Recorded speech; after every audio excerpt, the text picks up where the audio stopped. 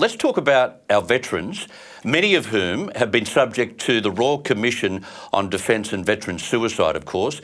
My next guest is Heston Russell, a Special Forces combat veteran, public speaker, champion for veterans, and an embattled Australian. It has long been known and only recently acknowledged that defence personnel don't always get the reception they deserve once they transition back to civilian status. Heston is no stranger to the trials of transitioning back to a civilian life and is on a mission to make sure they get the recognition and treatment our veterans deserve. He launched the inaugural Veteran Games last year, a wonderful initiative designed to address the rates of veteran mental health issues and suicide, highlighted, of course, by the findings of the Royal Commission.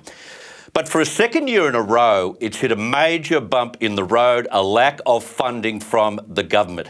Heston is here to talk about the fruits of the Games and why our Australian government might be stonewalling an event that is befitting the members of our Defence Force. Heston, thank you very much for joining us.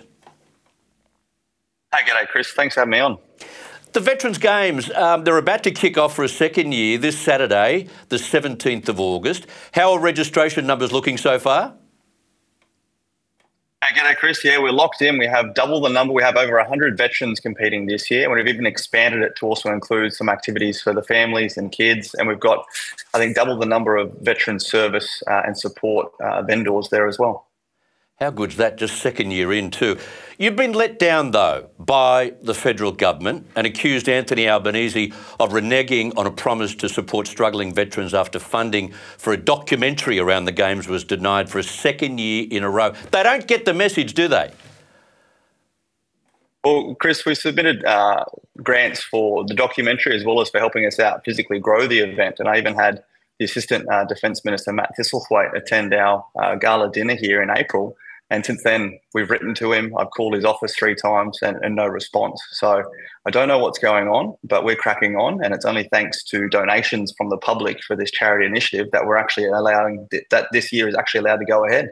And yet, throughout the Royal Commission into Veteran Suicide and after the first report was handed down, it was all, you know, we're here for veterans and we're going to change the system and we hear what the Royal Commissioners have found. It's all just hot air, isn't it? Yeah, I think it's a bit of uh, you know stage work, waiting for the Royal Commission to come out. I'm sure there'll be a lot of fanfare saying we're going to implement this report leading into the federal election uh, next year. But look, Chris, uh, as a, as a individual veteran here, I have a claim that's been in for over two years. We have uh, you know, veterans telling their stories, how the Veteran Games has helped them literally, you know, restore their lives, and, and interviews with their families the same. And, and, we're getting no support. So, look, we're sort of done relying on the government. We're relying on corporate sponsors, we're relying on everyday civilians, and we really need to make the implementation of this Royal Commission and its findings uh, a election requirement for whatever party or individual is going through next year. And let me guess, you're getting really good response from corporates because for corporates, veterans mean so much to their customers, to their staff, and to their corporate image. You'd be you surprised, Chris. I have to give a, a, shout out to our presenting sponsor this year, Atlantis Virtual Reality and Atlantis Recovery Centre. But we've approached, you know, even the big airlines like Qantas and Virgin because we have veterans flying in from all over Australia, and you know, not even a one dollar uh, discount on a fare. So look, if there, any of your viewers out there want to get involved, please head to veterangames.com. We have a lot of contacts in the in the political realms, but less contacts in the corporate realms. Unfortunately, that's a, a lot of the narrative of what happens with veterans these days. We sort of don't maintain a lot of that corporate uh, infrastructure around us when we transition, and we transition to that corporate infrastructure. But yeah, we are we're sort of done banging our heads against the political brick wall. There has some great support from some individual local members, but um, it's the corporates and the individual donations and our, our raffle for our car and all sorts of other fundraising initiatives that have been really supported by the local community that are getting us across the line this year. Yeah, so local community, average Australians, but corporate Australia and the federal government are just too slow and probably too uncommitted uh, to help out. I find that just shocking, and it's a sad reflection on corporate Australia at the same time. Now, the ADF is already struggling with personnel retention and recruitment numbers, Heston, mm. with the Defence estimated to hit just over 50% of its recruitment target. That is less than what they're recording in the United States. Is it neglect like this that's discouraging people from joining and or staying in the military, do you think? Yeah, absolutely, Chris. And look, I'll say from a personal note, I've had individuals who were set to or considering joining the military following my case against the ABC, where they were found guilty of defaming me and my platoon, calling us war criminals, and having no support from defence.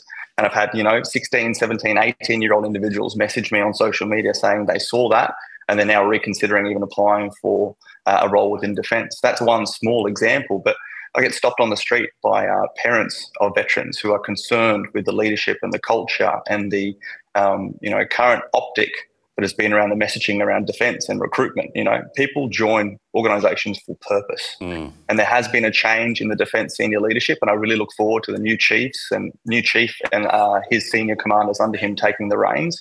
But yeah, we're really in a very difficult time, uh, and as you said before, it's a very uncertain time and a time we need to be growing quality uh, military members uh, within a defence force that needs to increase its capabilities, in my opinion.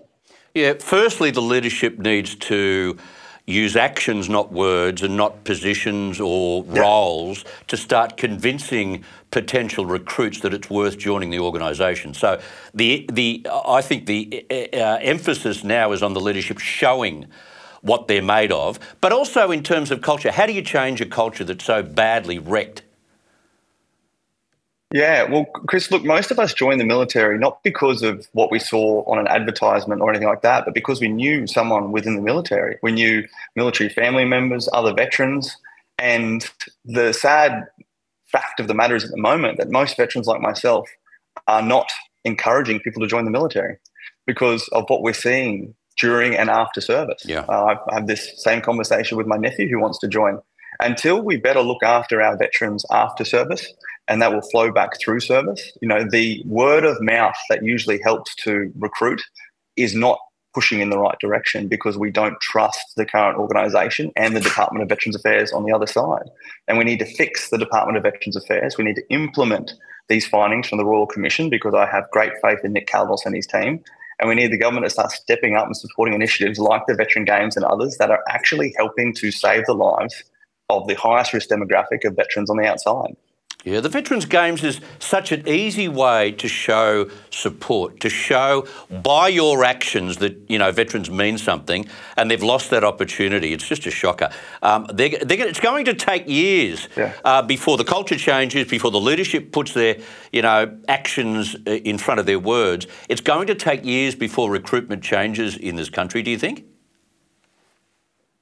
I think so. I think I, I love the quote of that cycle that we're in, you know, uh, easy times create easy men, easy men create hard times, hard times create hard men and women. And I think we're just in one of those sort of easy modes at the moment. And I'm yeah. sad to say that things might need to get to be a bit harder. But uh, there are really achievable outcomes that can be implemented very quickly. Um, and we just need politicians who are more focused on actions and outcomes as opposed to political statements and media segues uh, in my opinion, from my experience over the last two years with this current government, and individuals to truly care. And you know what, Chris? Wouldn't it be great to see at the end of the next federal election an actual veteran sitting in the Department of Veterans Affairs ministerial position? Yeah. You know, just one. That would be lovely. That would be lovely, and it makes a great deal of sense if you're putting an Indigenous person in to run Indigenous Australians and that portfolio. You should be doing exactly the same thing for defence. You have hit the nail on the head. That's a great way to turn all of this around. Heston Russell, thanks for having us. Uh, thanks for being on the program and giving us the time. Uh, and I know you're very busy today. Thank you so much. Thank you, Chris. Really appreciate it. And if anyone wants to go to veterangames.com to get involved, we'd really appreciate their support.